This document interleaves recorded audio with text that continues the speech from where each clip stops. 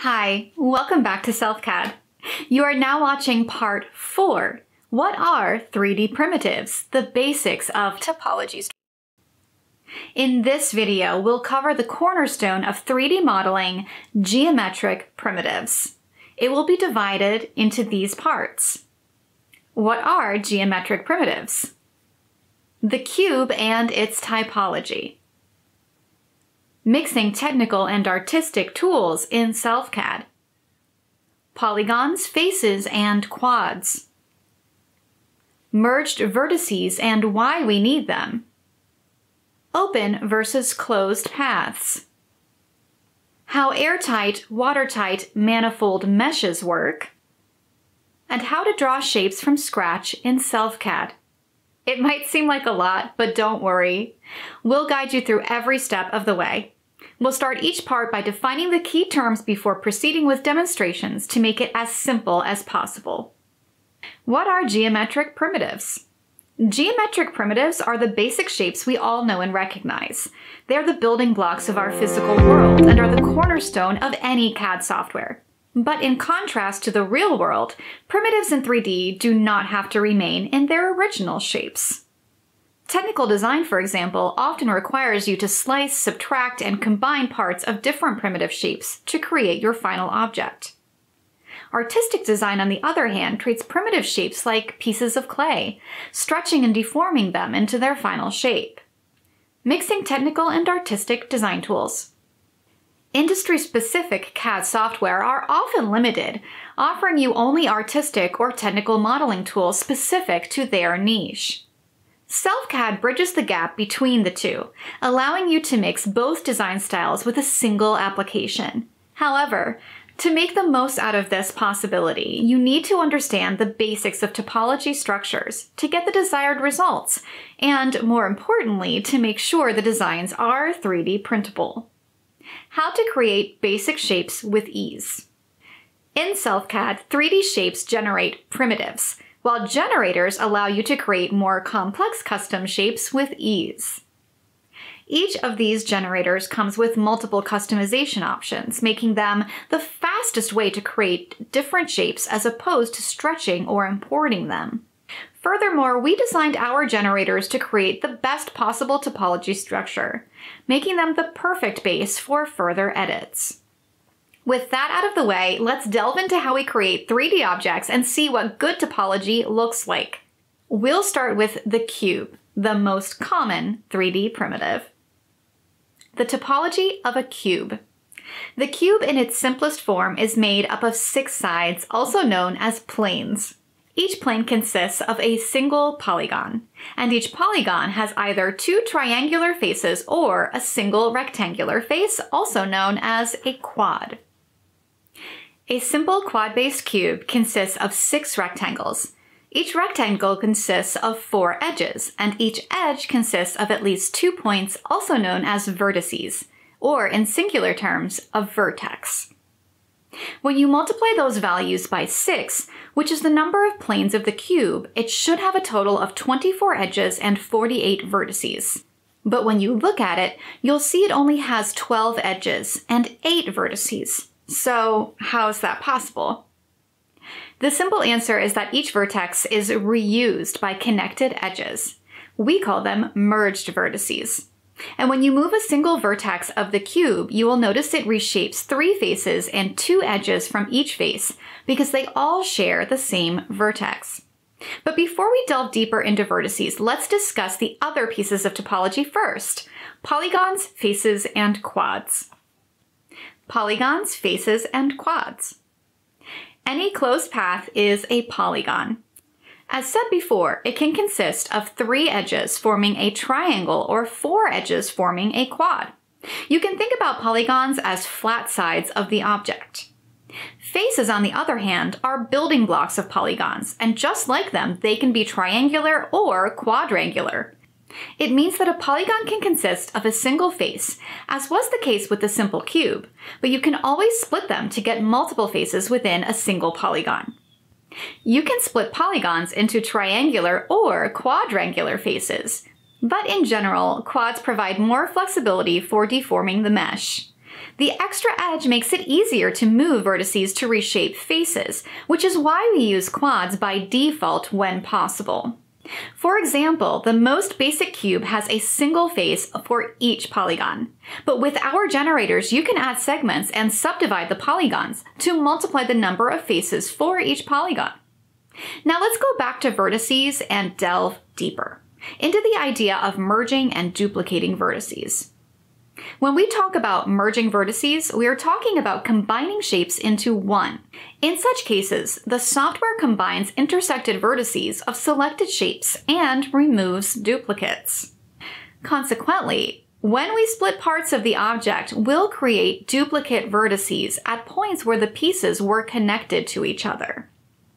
Our Merge tool has the option to remove all the duplicates when combining objects, but sometimes solid objects retain duplicated vertices. It's an especially common issue with objects downloaded from the internet. In such cases, you can use our standalone Geom Clean tool to remove duplicates and merge vertices. However, merged vertices are not just a convenient way to deform shapes, they're essential for 3D modeling because duplicate and split vertices, also known as exploded vertices, will leave open paths that will break the object's topology structure. What are open paths and closed paths? Paths are sequences of edges that start with a vertex and travel from vertex to vertex along the edges. Closed paths are those whose start and end points merge together to form a loop. There can be no disruptions along the path, which means no splits and no intersections as any such disruption will open the path. The easiest example of a closed path is a face or a polygon, where the edges connect to create a surface. However, it's important to note that paths are not surfaces by default. Path versus surface. All paths are just outlines of the object in the form of an empty profile, and to get a surface, we need to fill that area. In some cases, the surface is the same as a polygon or even a face, but it's not always the case. Faces and polygons refer to flat pieces of the object's topology. So when you draw and fill a flat profile, you'll receive a face or polygon, just as was the case with the cube. However, you can also draw in 3D in SelfCAD, and when you fill such a profile, you'll receive a surface that consists of multiple faces. One more important aspect of surfaces in 3D is that they must be what we call watertight. It means that edges outlining the surface must be connected in a continuous loop. In other words, only closed paths can create surfaces.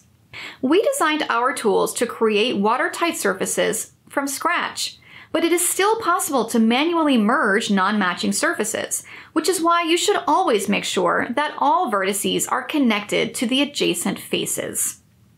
What makes a watertight manifold mesh? Surfaces themselves are not considered 3D objects because they have no volume. However, when you create and fill a closed path or merge surfaces into a continuous and uninterrupted loop, you can use our Add Thickness tool to calculate its volume and turn a surface into a complete 3D shape. If you're successful, you'll create what we call a watertight or a manifold mesh without any loose edges, split vertices, or flipped faces.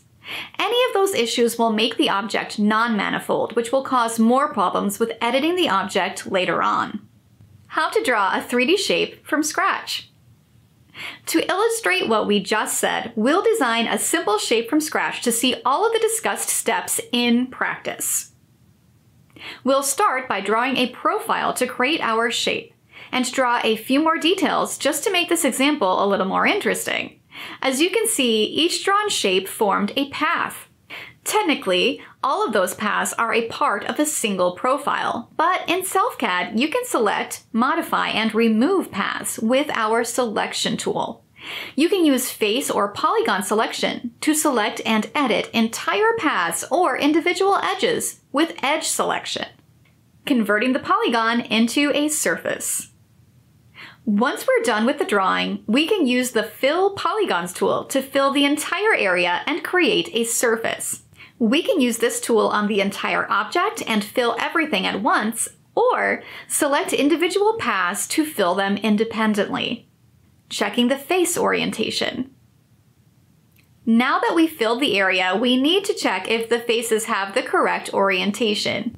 You can check it by enabling the back face coloring in the display options, which will change the color of the back of the face. Adding thickness. Now we can use the Add Thickness tool to convert the surface into a mesh. You can see that the mesh didn't change color, which, thanks to backface coloring, means all faces are pointing in the right direction. We can double check it by zooming into the object, where you can see the different color of the back faces. Face normals. To remind you, face normals, or just normals for short, are vectors indicating the direction in which each face is pointing and correct orientation is imperative for mesh editing and rendering. SelfCAD is great with orienting faces automatically, but sometimes, especially with complex projects, you might need to fix face orientation manually, which is why we designed the Flip Normals tool. You can use it on selected faces or the entire object, and the first use will fix all of the flipped faces to the correct orientation. Using it for the second time will invert the mesh, which you can use to look at the inside of the object to see if there are, for example, any missing faces. Intersecting profiles versus faces. As you remember, when we combine profiles, it's best to do it with the Merge tool, as it combines them and creates vertices at the intersection points. But this option may not be enough when working with 3D shapes. When we work with watertight meshes, you should use the Boolean operations, which we call stitch and scoop in SelfCAD. With this tool, you can seamlessly combine multiple 3D objects into one, cut out the shape of an object from the other, and even cut intersections of multiple objects. We'll dive deeper into Boolean tubes in another episode. This was just meant to show you the different tools used to combine 2D profiles and 3D shapes.